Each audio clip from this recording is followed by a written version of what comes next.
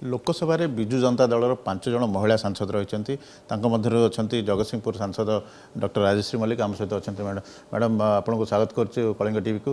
ଆପଣ ପୂର୍ବରୁ ବିଧାୟିକା ମଧ୍ୟ ଥିଲେ ବର୍ତ୍ତମାନ ସାଂସଦ ହୋଇଛନ୍ତି ଲୋକସଭାରେ ଶପଥ ନେବା ପରେ ପାର୍ଟିସିପେଟ୍ କରିଛନ୍ତି ଭାଗ ନେଇଛନ୍ତି ଲୋକସଭାରେ। ତ କିଭଳି ଭାବରେ ଆପଣଙ୍କର ଅଭିଜ୍ଞତା ଥିଲା? ସୁନ୍ଦର ଅଭିଜ୍ଞତା। ପ୍ରଥମ ଥର ପାଇଁ ଲୋକସଭାରେ ପାଦ ଦେଇଛି ସେ ଗୋଟେ ପବିତ୍ର ଗୃହ।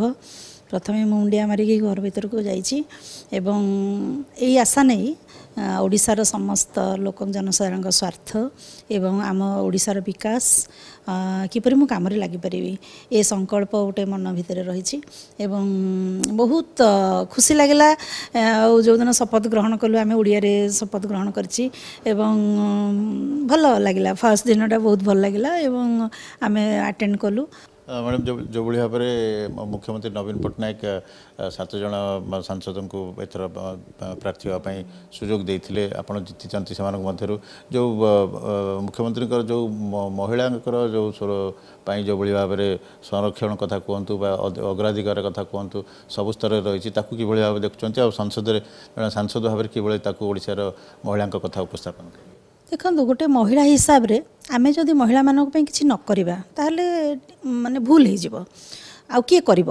ଆମ ପାଇଁ ଆମେ ଯଦି ଆମେ ନ ଦେଖିବୁ। ରାଜଶ୍ରୀ ମ୍ୟାଡ଼ାମ୍ ଯେଉଁଭଳି ଭାବରେ ଆ, ରାଷ୍ଟ୍ରପତିଙ୍କ ଅଭିଭାଷଣ ହେଲା ଆ, ଯେଉଁଭଳି ଭାବରେ ଆ, ଆ, ସମସ୍ତେ ପାର୍ଟିସିପେଟ୍ କଲେ ବିଭିନ୍ନ ଦଳର ଆ, ସବୁ ପାର୍ଟିସିପେଟ୍ କଲେ କିଭଳି ଅନୁଭୂତି ଥିଲା?